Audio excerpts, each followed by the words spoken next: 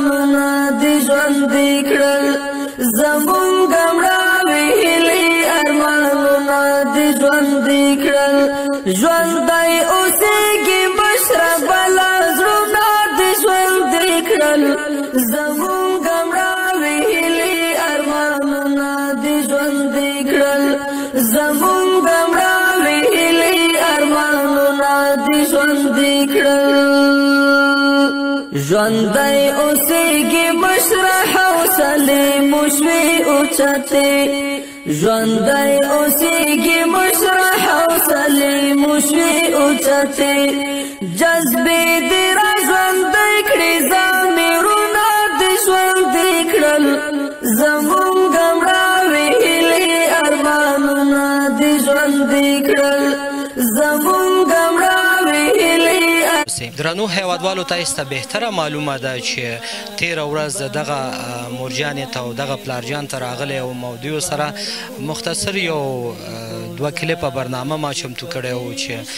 دغه مورکۍ یادونه وکړه چې زمونږ په کور کې د یو کیلو څخه زیات وړه نشته د روژې مبارکې میاشتې شپې او ورځې دي او ژوند مو د ډېرو ستونزو سره مخامخ دی. پلارجان هم یادونه وکړه چې زما داسې د کورنۍ سرپرست نشته چې ما ته ګټه وکړي، ما ته نفقه راوړي، زه خپله د کار د روزګار نه یم، کله چې ځوان وم کار به مې کاوه، روزګار به مې کاوه، خو اوس سپین ږیری شوی یم، کار روزګار نشم کولی. د HHRD هیلپنګ هینډ موسسې له خوا.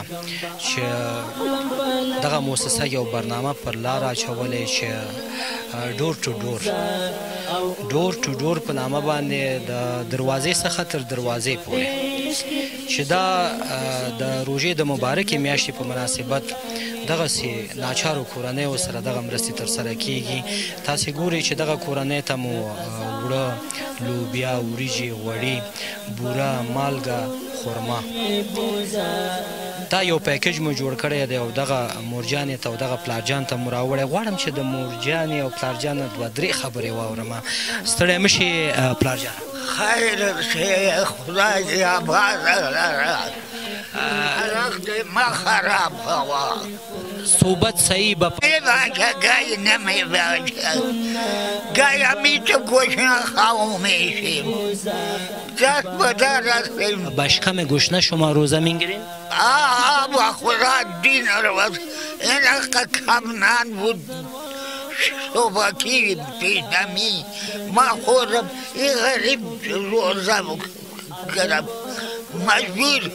نان نبود همینجا خالی حالی هم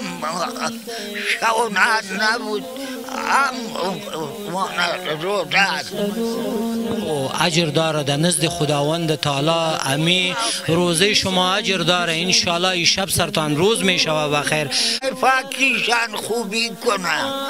خدای پاک زنده بداره کی کلگی شما هیچ ندارم بسم الله داریم